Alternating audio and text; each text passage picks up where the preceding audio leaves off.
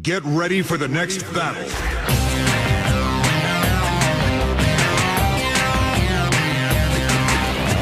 Fat Engineer versus Spectre.